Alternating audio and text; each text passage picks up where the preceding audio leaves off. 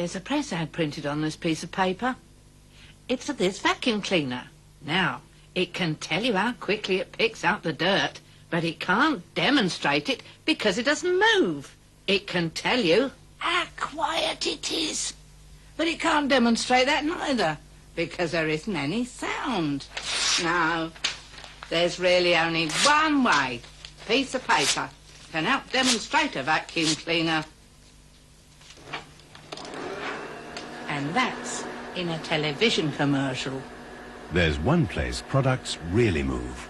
Television.